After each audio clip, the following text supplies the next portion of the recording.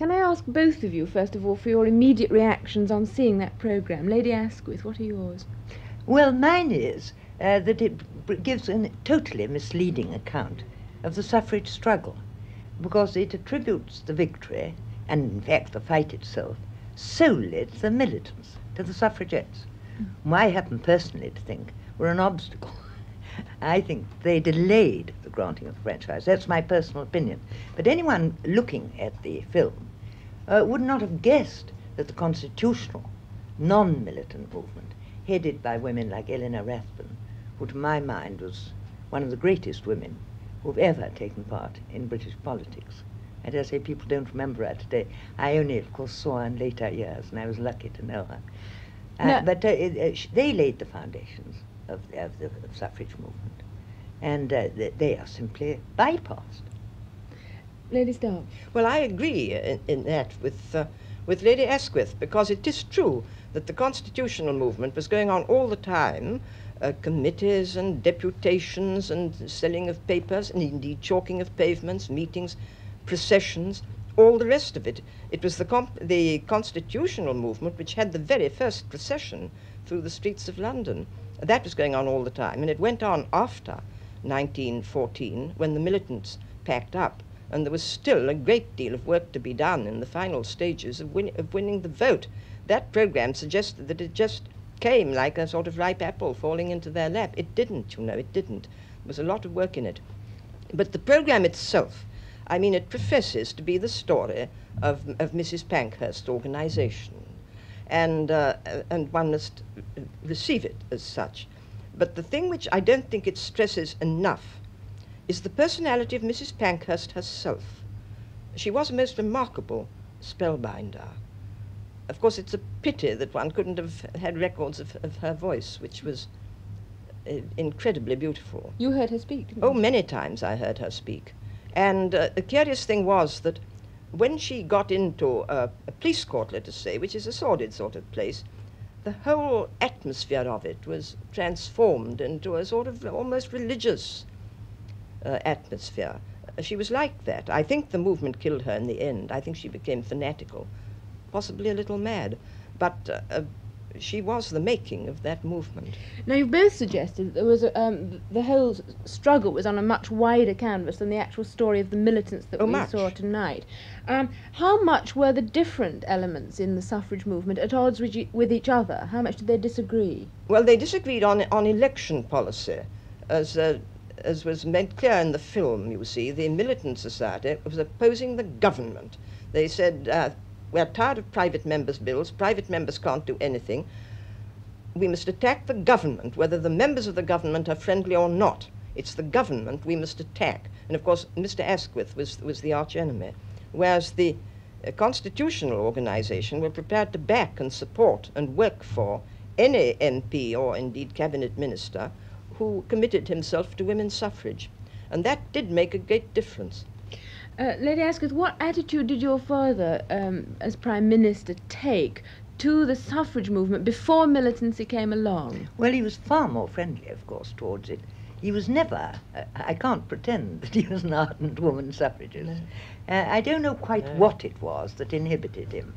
Uh, I, of course, was um, at the receiving end of the suffragettes. I mean, I saw it mm, as a close up.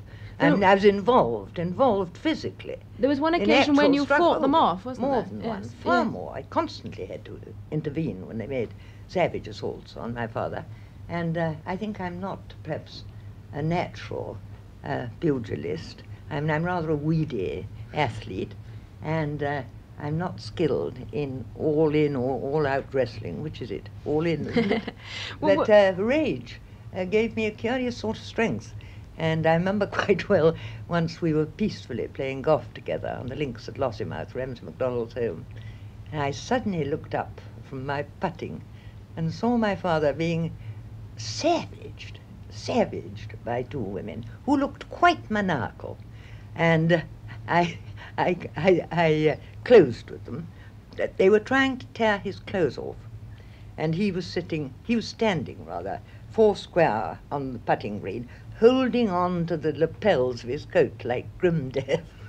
I tore first one and then the other off him But of course, whichever, which, the, the other one was always on by the time I'd got one off.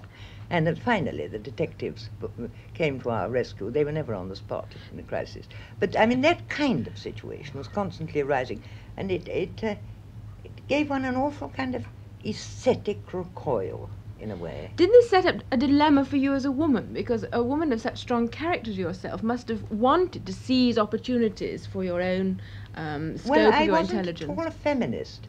I'd grown up among brothers and and and with my father, and I'm afraid I I must confess I was a very bad feminist. I was very cause-ridden. I mean, I was uh, I, I was um, uh, ardent, uh, not do-gooder, but I, I burned to Mm. right wrongs, etc. But uh, women, I must frankly confess that voteless women were not to me the most urgent or the most clamant need of the day. I was far more harrowed by this stark contrast between poverty and affluence. And as I think what people forget about that time is that the franchise was very, very selective, limited, and discriminating. Even and for men. property was the Mm. main qualification, and that the women who most needed help wouldn't have got the vote. And to me, it seemed every bit as unjust to disqualify uh, someone from to disfranchise someone on account of their poverty, as to disqualify them on account of their sex. The, pr- the program also suggested that um, Asquith was opposed to the vote for women, and Churchill was too. And No, well, uh, Churchill, I, I, I, I went through his vagaries on this. He was, in principle, pro women's votes. I mean, quite frankly and quite honestly.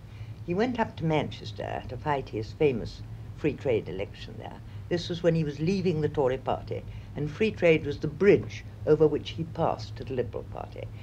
Every one of his meetings was wrecked by these screaming, howling women. And the, Man- the Mancunians, I believe that's the thing, that were, were furious. And he, on one occasion, when they'd last all been ejected in the course of an hour of interruptions, uh, said to his audience, um, as a matter of fact, uh, I'm really rather inclined to agree with them. They ought to have votes. But I'm not going to be henpecked. This was frightfully popular. And whenever he went out in the streets, they used to shout at him, Don't be henpecked, Winston. It was this sort of force majeure, this nuisance value, I think, which not only the politicians and the cabinet ministers, but the public resented. Now, uh, uh, Lady Asquith obviously feels Yes. that the militancy held up the cause, Yes, did yes, damage to women's suffrage. Do you agree with her? I would think that after about 1910 or 11, no, perhaps later, after the Conciliation Bill broke down, uh, when militancy developed into uh, uh, real sabotage, uh, such as we saw, for instance, on the screen, I think then it did harm. I think it did. But I think the early stages of militancy didn't. Uh, I think the, uh, after all, Christabel Pankhurst's exploit at the Free Trade Hall in 1905, she was the first person, I think, to go to prison, and the later prisoners did stir a tremendous amount of enthusiasm among women, and I'm inclined to think at that time that the constitutional movement under Mrs. Fawcett was, in a sense, for a time parasitic on the militant movement, which, which worked up tremendous enthusiasm among women, and then their reason told them to go and join the constitutionals. Do you see, the problem they, they faced was that the um, constitutionals had worked from, oh, 1870 exactly. to 90 and got Yes. very, hardly anywhere. It was absolutely true, and Mrs. just- Fawcett recognized it when uh, when that affair happened at the Free Trade Hall. She said, "We've worked for how many years? I don't know how many, and now at last we're in the news." Do you think, in fact, militancy was inevitable? Oh, that's a difficult question, isn't it? Is anything inevitable? I don't know. Uh, uh, of course, we were all exasperated. We were exasperated by the behavior of the government, uh, which just wouldn't budge. And another thing that was exasperating, you see, the, that Liberal administration was a very brilliant administration, and it laid the foundations of the welfare state. And at every turn, it was indicating what could be done for social conditions by legislation. And yet, you see, women were out of the legislative pattern. And yet, uh, your, the majority of your father's cabinet were for votes for women, uh, a limited franchise for women, but refused to put a bill and carry it through. Well, I don't know whether a majority were. I, I'm afraid I wouldn't like to say that accurately. I remember very well that some were hotly against. I think there and McKenna was. was against, and Lulu Harcourt was against. Winston's enthusiasm waned. I'd like to say uh, waned after he, after they Hmm. made su- such nuisance of, of themselves in his campaign. Now, there's one thing I'd like to uh, say just on what Mary said about them. They, there's no doubt that they advertised the movement, but of course you can advertise yourself to your detriment. Now, this uh, Pankhurst uh, meeting in Manchester may have been a success, but uh, their subsequent demonstrations, I'm quite sure, did them harm. They had absolutely not a ray of humour. They were fanatics, but a fanatic should be dramatic. Well, I've seen countless of these demonstrations. They were rather squalid scrimmages and scuffles. I'm talking now of militant, militancy. And uh, to see uh, a, a woman uh, in hideous, not a woman, but a mass of women, in absolutely hideous disarray, with a distorted face, a hat hit endwise, and one of those uh, very elaborate edifices of Edwardian hair, which we used to all have to pile on our heads there. Uh, seeing it fall into ruins uh, with a shamble of combs and hairpins, uh, it was a very unaesthetic sight. But when do you think, Lady Asquith, your father would might have come round to giving the franchise? Had Oh, I think he was rapidly he- coming he would round. have done so. And I think he was in, enormously impressed, of course, by their war work. How, and the moment war began, I, I mean, he, He was He was converted. converted, yes. how extensive was the feeling among women in all classes that they wanted the vote? One gets the impression from the photographs in the film tonight that they were really rather upper class and really well dressed with uh, uh, private means, the sort of families who could support ladies going out to Well, protest it, in the it park. wasn't only that. You see, it was it, certainly the bulk of the work was done by leisured women. It had to be. It had to be. Uh, the women who afterwards went into social service, went on to committees, you know, went on, organized League of Nations union meetings and all the rest of it. It was, it had, of course, a strong working class support from, especially in Manchester. But um, it was, in, in a way, a middle class agitation for that reason, that, uh, that it's only middle class women who had the leisure to pursue it. Mm, I should say that certainly. Yes. Most unexpected people, a very frail and extremely sensitive and refined creature like Lady Constance Lytton, very delicate too physically. She, to our amazement, But became a suffragette. she was forcibly fed. And this yes. is, is one of the, uh, and again, an illustration of the lack of drama that they showed. She threw a stone through a window, or through something, or at something. I don't know if she hit it. They were lamentable hitters. But uh, instead of throwing a rugged stone, which has a certain amount of natural dignity, one thinks of uh, Goliath and David and so on, it was wrapped up neatly in brown paper, tied up with string, and votes for women or some Yes. other not very striking slogan written on it. You see, they just punctured all their gestures. Ah, they went off like flat tires. Can I can I ask you But about Violet, an that organi- particular gesture was highly dramatic because she was arrested. She Oh, was she was sent to Holloway, certainly, and and she was because she was Lady fed. Constance Lytton, or Yes. so it was thought, they said she wasn't fit to hunger strike, Yes. and they sent her. They, they released her. Mm. She then disguised herself as a working woman, disappeared, mm. i- and reappeared at Liverpool Yes. under another name, got arrested, sent to prison, was forcibly fed, and nearly killed. Oh, she and, was a and then heroine. She, she was a heroine, and then she came out and appeared on the platform of the Queen's Hall. Uh, I saw her, I was there, and gave an account of what she'd done. It was nothing if not dramatic. No. Mm. But, But the, were what the cruel thing was that they were heroic, as, we, They as we've were. seen on this Mm. film. They were heroic, but their heroism, their courage, was, uh, as I've said, punctured uh, by their extraordinary want of humour. uh, uh, and by the aesthetic recoil which they inspired, even in not very squeamish people. But they also- There they was also a thing stirred called the people Guild by of their- Honor. Uh, I'm just now Mm. giving you an illustration because I don't want to make generalizations without any. Uh, called the Guild of Honor. I don't know if Mary ever heard Can't of it. remember it. Guild of Honor. If you joined the Guild of Honor, you had to swear that you would never have a baby until women got votes. And then there was this extraordinary woman who was referred to in the in the film, who uh, thought it was an insult to women that uh, God's masculinity should be assumed, and that he should be referred to as he. I mean, why not she? I mean, all those things were so absurd that they a little bit obscured these stories of high, if misguided courage. You know, I think forcible feeding was a disgusting thing, and they ought Mm. never to have done it. Had you, in fact, not been so distressed by the militancy and, in fact, its own involvement with your family, do you think as you grew older you would certainly have campaigned constitutionally for votes for women yourself? Oh, I think I should. I think I should. I was obviously out of that. I, I couldn't have in the state of the cabinet, but I never would have been. I mean, I pray God, I never. I'm sure I never would have been militant. I mean, it, it was really very, very unpleasant, Now, and they were very dangerous. I mean, the uh, the um, fires they spoke of. Well, I mean, it's not true that they didn't or mightn't have hurt anybody. Lord Harcourt's house was set on fire with his four children in it, and the nursery wing was lit. Not on purpose, I'm sure, but they knew that there were children there. I mean, uh, when I'm driving um, through the streets of Dublin, which I did after a big Home Rule demonstration in an open horse-drawn landau with um, John Redmond and my father, a hatchet, an axe, was flung out of the cloud at, at these two men, at my father, of course.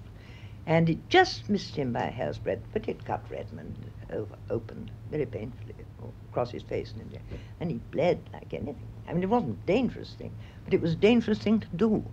I mean, I think they were quite reckless about life and limb. do you agree, Lisa? Well, they were, I think, in the later stages, and I think if it had gone on, uh, they would have uh, adopted far more serious forms of militancy. In, fi- in fact, that's what Mrs. Pankhurst and Christabel Pankhurst intended to do, and that's why their most faithful and devoted adherents, Mr. and Mrs. Pethick Lawrence, refused to uh, agree and were thrown out of the movement. There was an anti-suffrage league. Oh, yes, found- there was. Did you have experience of them? Well, I used to go to meetings of it. It was led by Mrs. Humphry Ward and backed up by Lord Curzon. what were they like? Very ladylike, rather aristocratic, and I thought extremely stupid, but then I would think that. Were you there to object to them? Oh, no, I, I know, no. I once had a, a wonderful debate between Mrs. Fawcett and I forget who it was. But the, their most distinguished member was Miss Violet Markham, the best feminist I've ever known, a real feminist. And a very able woman. and a very able woman, but she came round in time. Mm. The intention of uh, the suffrage movement when they went to the East End to try and Yeah. recruit women for the campaign was to redress social evils that they saw there, social evils that, that obviously distressed you too. How much difference do you think women having the vote made to the whole development of wealth, welfare in public Well, I, I, I don't think it had time to. I mean, the welfare movement was. Oh, do you mean in the years, throughout the years, Mm. you mean? Oh, it's very difficult to assess. Mm. Very difficult to assess. I've known a great many extremely reactionary women. I mean, there, are all kinds of women, just all kinds of men. One of the questions I most mind being asked uh, when you're asked to write an article or that is, what is the woman's point of view? Makes me absolutely furious. Can I ask you then whether Yes. you consider there are many um, inequalities still remaining that you feel it's essential to redress And now? well, of course, the only profession which is now closed to women, well, two professions perhaps, uh, the stock exchange and the church. Uh, I don't know how long they'll hold out. I would back the stock exchange to come in first. Well, we, of course, the church has been breached, not the Church of England, No. by people like Maude Royden. Ah, yes, and Elsie So that, Chamberlain. uh, Maude Royden had to preach outside her church. Yes, but I mean, she did. Yes, preach I, I know. They are going to get that. I mean, I think, it. I th- I'm, I'm not sure that I wouldn't back the church.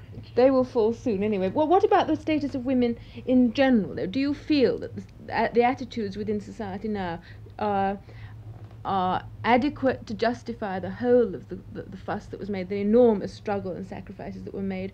Or do you feel it's now so different that one can't, in fact, compare? Oh, tremendous results. You see, the whole emphasis, so much of the emphasis on in politics and legislation now is on things that matter intensely to women. Well, one of the first things, maternal mortality, infant mortality, family planning, all sorts of things. Uh, and after all, it's the business of politicians to, to appeal to the housewife, isn't it?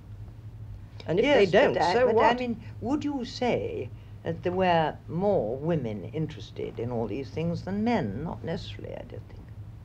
I mean, I, I don't Yes. recognize, you see, sex yes, as a barrier in political outlook. I've known very reactionary women and very reactionary men, and lots of men are intensely interested in questions you've, uh, you've yes, I think I think and there aren't so. more housewives than house than than their husbands. In fact, uh, husbands are becoming much more numerous, as you know. Yes, r- women yes. are going down and men are going up. Yes. The harem uh, mentality and the harem Yeah, approach yes. uh, to marriage and so on is going to be reversed. Yes, We're going to have polyandry or something Yes, instead. and why is that? I mean, I don't think that all Yes. things that have done do good to women and all this family Yes. planning, which I agree with you, uh, and um, and things like the abortion bill, for instance. Yes. Also, I mean, after all, men uh, have shown themselves in the House of Commons. Politically. I mean, There is no Yes. distinction. tremendously Mm. interested. Yes. David Steel uh, fought it through. I mean, Yes. I'm, I'm now talking about abortion. I mean, whether one's for or anti, Yes. it inspired tremendously strong Yes. feelings. Oh, yes, it did. Mm. Yes. And one could think of other things. Lady Asquith, Lady Stocks. Look, thank you may I just finish by reading a quotation from Mr. Asquith, Please. Which he wrote to Mrs. Corbett Ashby in 1927 on the eve of the final act which gave us equal franchise. Uh, he wrote it to Mrs. Corbett Ashby as a message to liberal women. Uh, he said, Remind the women of what women did, even against a powerful man like me. Sometimes I think their methods were foolish, but they displayed courage, persistence, and hard work. That was our archenemy, Mr. Asquith. Yes, well, it was a very wholehearted trip. yes. Thank you both very much.